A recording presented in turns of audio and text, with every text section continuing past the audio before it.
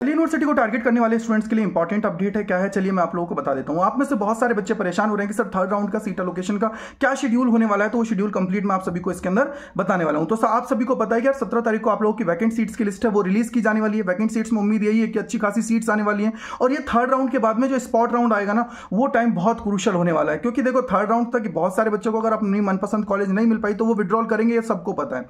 Right चलिए हम लोग जान लेते हैं शेड्यूल के बारे में। तो सत्रह तारीख को आप लोगों की वैकेंट सीट्स की लिस्ट आने वाली है। सत्रह से लेकर उन्नीस तारीख तक मिड एंट्री की विंडो आप सभी के लिए दी गई और जो हायर प्रेफरेंसेस को रीऑर्डर करना चाहते हैं, उनके लिए भी ये विंडो काम की है। अब मिड एंट्री मतलब क्या होता है कि वो बच्चे जो सीएससीएस पोर्टल के पार्ट नहीं बन पाए थे किसी भी कारणवश, वो अब इसके अंदर पार्टिसिपेट कर पाएँगे। थाउज़ेंड रुपीज़ की उनकी फ़ीस लगने वाली है मिड एंट्री की तो वो इसके अंदर पार्टिसिपेट करके यहाँ पर अपनी जो एप्लीकेशन है उसको प्रोसेस करवा पाएँगे। अब इसके बाद में बाईस तारीख को आप लोगों का सीट अलोकेशन आने वाला है थर्ड राउंड का और बाईस से लेकर चौबीस तारीख की विंडो रहने वाली है। बाईस से लेकर पच्चीस तारीख तक कॉलेज वेरिफिकेशन करेंगे और बाईस से लेकर छब्बीस तारीख तक फ़ी पेमेंट का ऑप्शन भी आप सभी के पास आने वाला है। यानी कि शाम को चार बज के उनसठ मिनट, छब्बीस तारीख तक आप लोगों की कंप्लीट प्रोसेस हो जाएगी थर्ड राउंड की। इसके बाद में जितने भी बच्चे हैं जो विड्रॉल करना चाहते हैं या जो भी चीज़ें इस बार अपना अपग्रेड करने के लिए जाना चाहते हैं तो वो अपग्रेड के बटन पर प्रेस करके इजिली अपना अपग्रेडेशन कर सकते हैं और उसके बाद में उनका सीट अलोकेशन है, बाईस तारीख को रिलीज़ किया जाएगा। अब सबसे इंपॉर्टेंट चीज़ आप सभी को पता होना चाहिए कि यार ये टाइम बहुत क्रूशल है तो इसके अंदर सोच समझ के सारी चीज़ें आप सभी को करनी अगर आपको लगता है कि मेरी जो कॉलेज मुझे मिली है, वो डिजायर्ड कॉलेज ओके है तो आप लोग उसको फ्रीज कर दीजिए, अन्यथा आप लोग अपग्रेड के लिए चले जाइएगा।